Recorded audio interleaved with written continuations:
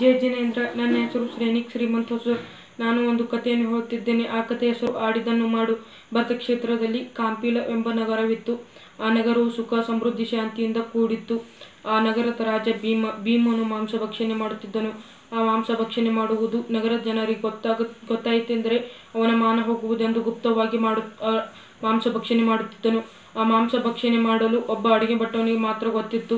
ಒಂದು ದಿನ ನಂದೀಶ್ವರ ಅಷ್ಟಾನಿಕ ವೃತ್ತವೆಂದು ಬಂದಿತ್ತು. ಆಗ ಇಡೀ ನಗರವು ಈಗಿನ ಇಡೀ ನಗರವು ಉತ್ಸುಕರಾಗಿತ್ತು.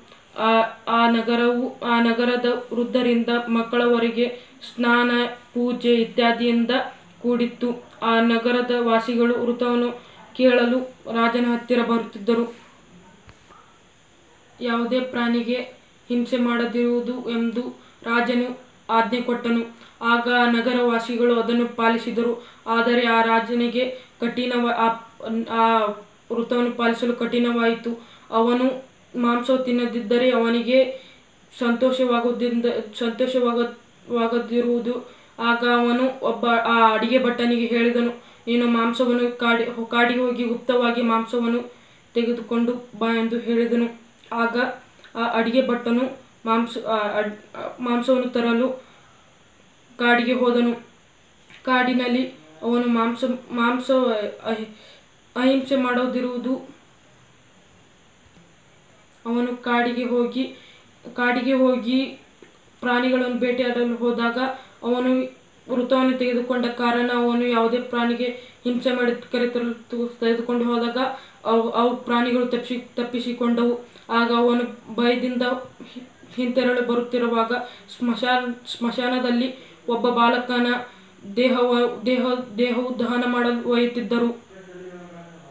ದೇಹವು ದಹನ ಮಾಡಲು ಒಯ್ಯುತ್ತಿದ್ದರು. ಆಗ ಅವನು ಅದನ್ನು ಅಧಿಕಾರದಿಂದ ತೆಗೆದುಕೊಂಡು ಹೋಗಿ ಅವ ಆ ರಾಜನಿಗೆ ಮಾಂಸದ ಅಡಿಗೆ ಮಾಡಿ ಕೊಟ್ಟನು. ಆಗ ಆ ರಾಜನು ಅದನ್ನು ತಿಂದು ಉತ್ಸುಕನಾಗಿ, ಬಲೆ ಇದು ಯಾವ ಮಾಂಸ? ಇದು ಇಷ್ಟು ಸಿಹಿಯ, ಇದು ರುಚಿಯಾಗಿದೆ. ಇದು ಎದರ ಮಾ, ಯಾವ ಮಾಂಸ ಮತ್ತು ಎಲ್ಲಿಂದ ತಂದೆ? ಎಂದು ಕೇಳುತ್ತಾನೆ. ಆಗ ಅವನು ಭಯದಿಂದ, ನರಮಾಂಸವೆಂದು ಹೇಳುತ್ತಾನೆ. ಆಗ ಭಲೆ ರಾಜನು, ಭಲೆ, ನೀನು ತುಂಬ ಚ ಒಳ್ಳೆ ಒಳ್ಳೆಯ ಕೆಲಸ ಮಾಡಿದ್ದೀಯ. ಮಾಂಸ ತಿನ್ನುವರಿಗೆ ಯಾವ ಮಾಂಸವೆಂ ಮಾಂಸವಿದ್ದರೂ ಅದು ಒಳ್ಳೆಯದಾಗಿರ್ತದೆ ಆಗ ಆಗ ಅವನು ಬಹುಮಾ, ಬಹುಮಾನವನ್ನು ನೀಡುತ್ತಾನೆ. ಆಗ ಆ ಅಡುಗೆ ಭಟ್ಟನು ಬಹುಮಾನದ ಆಶೆಯಿಂದ ಅವನು ದಿನಾಲು ಮಕ್ಕಳನ್ನು ಕರೆತರಲು ಒಂದು ಒಂದು ಉಪಾಯ ಮಾಡುತ್ತಾನೆ. ಆಗ ಒಂದು ಸಿಹಿ, ಸಿಹಿಯನ್ನು ಹಂಚುತ್ತಾ ಅವನು ಮಕ್ಕಳಿಗೆ, ಮಕ್ಕಳನ್ನು ರಾಜ್ ಅರಮನೆಗೆ ಕರು, ತರುತ್ತಾನೆ. ಆ ಆ ಮಕ್ಕಳು ಹೋಗುವಾಗ ಕೊನೆಯ ಮಕ್, ಮಗ, ಹುಡುಗ ಬಾಲಕನನ್ನು ಹಿಡಿದುಕೊಂಡು ಹೋಗಿ ಅವನನ್ನು ಮಾಂ ಮಾಂ, ಅವನ ಮಾಂಸವನ್ನು ತೆಗೆದುಕೊಂಡು ಅಡಿಗೆ ಮಾಡಿ ರಾಜನಿಗೆ ಬಡಿಸುತ್ತಿದ್ದ.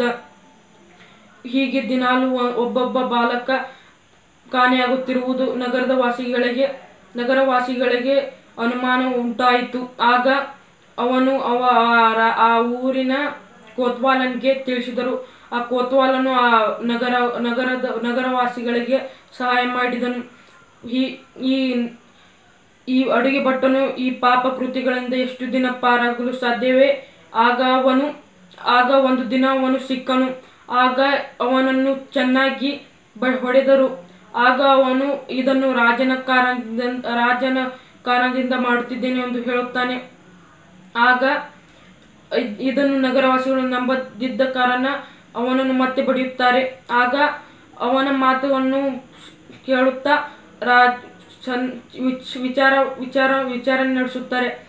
ಆಗ ಅವನ ರಾಜನನ್ನು ಬಹಿ ಊರಿನಿಂದ ಬಹಿಷ್ಕಾರ ಹಾಕುತ್ತಾರೆ. ಆ ರಾಜನು ಆ ಊರನ್ನು ರಕ್ಷಣೆ ಮಾಡುತ್ತಿ ಮಾಡೋ ಮಾಡುವ ಬದಲು ಭಕ್ಷಣೆ ಮಾಡುತ್ತಿದ್ದಾನೆ ಎಂದು ಅವನನ್ನು ಅವನ ತಲೆಯ ಮೇಲೆ ಕಲ್ಲನ್ನಿಟ್ಟು ಅವನನ್ನು ಊರಿನಿಂದ ಹೊರಗೆ ಆಚೆ ಆಚೆ ಹಾಕುತ್ತಾರೆ.